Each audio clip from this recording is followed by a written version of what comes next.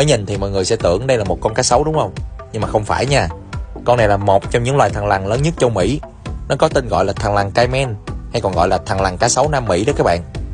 Các bạn nhìn vào thì thấy vẻ ngoài của nó y chang một con cá sấu luôn, nên nó có cái tên gọi đó nha. Con này cực kỳ độc đáo và lạ mắt luôn. Dòng này thì à, rất là ít người nuôi vì nó còn khá hiếm và giá thành cũng còn rất là cao nữa các bạn. Khi chăm sóc thì sẽ cho nó ăn ốc nè và côn trùng như là sâu dế ngoài ra thì cực kỳ thích ăn hải sản như là tôm nè, cá mực. Các bạn nhìn vậy thôi chứ bộ hàm cực kỳ chắc khỏe luôn, nó có thể cắn nát cái vỏ ốc luôn nha. Khi mà đạt kích thước trưởng thành, nó có thể lên tới gần một mét rưỡi luôn các bạn.